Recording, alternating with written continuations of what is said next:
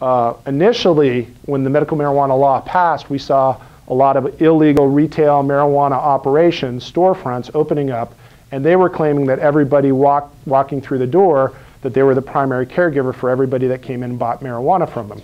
And well, what happened is some of these cases worked their way through the court system, and the California Supreme Court weighed in.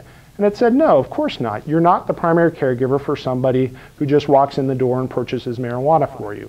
Yeah. Specifically in the Endless Summer Project, there were uh, people that you would call on the phone, you would tell them you wanted to order a certain amount of marijuana, like a Domino's pizza driver, they would come to your door, they would bring various varieties of marijuana, they'd sell you the marijuana, and then they'd depart.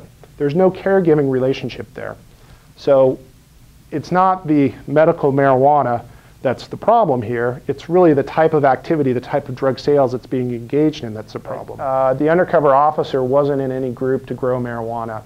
Um, what he was doing is simply ordering marijuana. It was a retail transaction. So that's what that's where they ran afoul of the law. And it's it's really like anything. It's like pharmacies or um, nightclubs, bars, restaurants that serve alcohol. Everybody has to comply with the rules, the law that goes along with what you're providing. Medical marijuana is no different. There are rules that you have to follow. There are ways that you have to do it. And if you do it within the law, you'll be protected. If you do it outside of the law, you'll be prosecuted. The district attorney has been on record for a long time saying that she supports medical marijuana. She uh, has been in favor of medical marijuana use for the sick and the dying.